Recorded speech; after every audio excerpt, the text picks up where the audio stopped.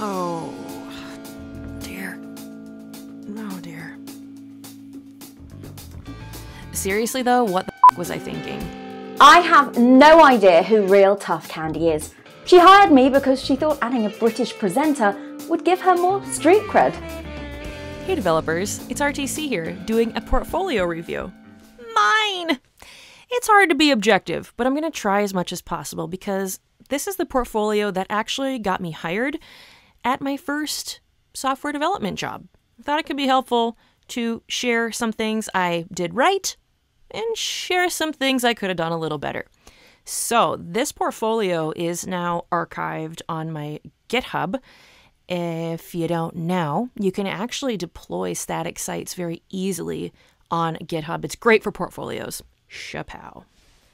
Now, the first thing that pops into my head when I see this, of course, I'm sure some of you out there already recognize this as well.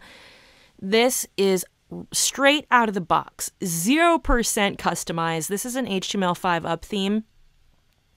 The reason I was hesitant to change the colors, the fonts, the animations, like the fade ins and stuff, was because this was built with something called Jekyll. Jekyll is a static site generator and it uses the Ruby programming language. I don't know Ruby. I didn't know Ruby at the time. So, this is not a good thing because if it comes right out of the box, these colors and everything is just stock, that tells an, a potential employer that this developer isn't really getting creative at all. Uh, and there's good chance that they've seen this exact portfolio layout. If we go down here, let's this is another thing here. So here's a button, explore the love. that doesn't really do anything. I would have this this button is is useless. Now, if it would have brought me completely to the bottom or something, okay, that would have saved me some time, but this button saves the viewer, the user, exactly zero seconds. So the projects I have here, Dev Spotlight, Git Her Done, Barncat Digital, Bethy's Backyard, RealToughCandy.com. My YouTube channel, a contact form, or no, this is, oh yeah, this is the, this is the good part. You don't want to miss this contact form. And a project I just decided to throw in here. Now, because of this portfolio's massive project, some of these were actually really big projects because I included a few freelance projects. I'm not going to go through every project here. We'll go through the layout of one of them and maybe uh, talk about another one briefly. Uh, but there's so many other elements in here I want to check out and show you guys and explain what's going on. Let me go down here. And so this is this is a kind of a cool little section. It's a contact section. Let's dish. Uh, the other thing, I know, I know I'm kind of backtracking here, but hovering over these, I can't read this freaking font. So going to the contact section, this was another thing I had a hard time figuring out with this template or with the static site generator was how to incorporate a contact form with a static site. So my solution to that was just to, you know, let the bots go wild. Here's my email if anyone wants to know. Submission form, with which this link is, I don't even think it's valid anymore. Uh, Twitter or by carrier pigeon. So throwing a little humor in there and some homemade Photoshop here, just kind of like a, I don't know what you want to call it, an oversized business card. So, and I love how I put I do true full stack as opposed to false full stack. I would have done this differently. I don't know exactly what right now, but I would not use this picture again. So I put YouTube on here because that it was a even I think I had maybe I don't know how many subscribers do I have here. Does that even say I think maybe a thousand or two thousand subscribers? So this was the best I could do right now. Again, this this artwork really, I mean, it does reflect me because I love graffiti fonts and like really just like garish colors and stuff.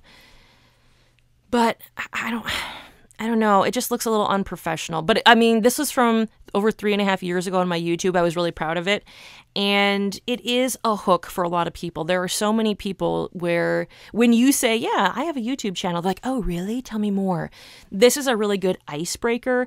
It also showcases my communication skills. I was doing a lot more tutorials back then, I was doing a lot more heavily tech focused topics. And that is something employers do like seeing because they want to see number one, that you're a real person, and number two, they're able to see your communication skills. And communication skills are just as important as actual raw coding skills in the operational software industry. I wanted to fill out my portfolio with solid projects. Um, and I knew like stuffing it with side things. Like YouTube is a great thing to have, but I'm not applying to YouTuber jobs. You know what I mean? I'm applying to full stack web developer jobs. So I highlighted uh, a few things up here that would illustrate that. So this Bethy's Backyard was built uh, with PHP and Twig and MySQL. This is a React app. This is a Git simulator I built. Git is a huge skill, so I wanted to showcase that, as well as the Dev Spotlight. That was a really fun one. Um, showcasing some front end skills. But so that's four projects. And then I had realtoughcandy.com, which is WordPress. So I'm like, that's most employers, unless it's a WordPress place, they don't really want to see that. Even back then, I knew that. So I, I stuck that in there just to start beefing it up. And four, just four projects didn't seem like enough for me. And here is this like extra projects. I'm like, well, you know, even five's not enough because this one's WordPress. This project was a project in progress and it's just weak. In these projects, I have screenshots from the actual project. And I'm going to show you something that was really strong that I did with this portfolio. This is like the cake, the protein, the teriyaki uh, beef jerky bits that you don't want to miss. So I'm going to come back to that in just a second. But this app, I would have just if I if I could do it all over again, I would not include this. Uh, it's a weak project and it's a work in pr- progress, which is not a bad thing. Um, but really, the premise. I'm just going to read this really quick. So the challenge. Notice the format of this. It's really important. Challenge Mobile app users who have large fingers are a challenge for developers, UX UI specialists, and web designers. Elements that are spaced appropriately for normal users are too close together and often unusable for this audience. Solution Fat Finger turns a tester's cursor into a life size, oversized finger to help develop app elements more inclusively. And etc., etc., and etc., etc., and etc. Just go with it. Uh, so here's the app.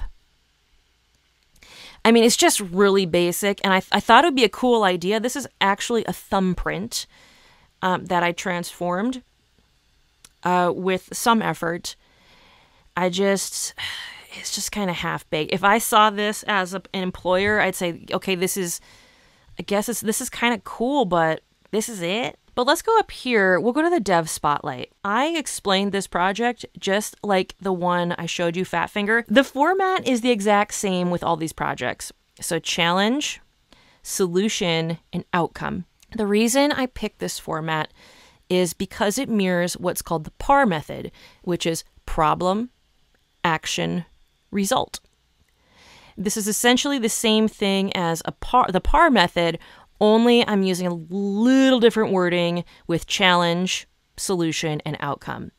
And so using this format, you specifically target your development process, certain phases in your development process, so that again, you show your potential employer that you see the value that you're creating when you solve this problem. It really emphasizes and illustrates your problem solving skills. Let's click this. I don't even know if this is going to work.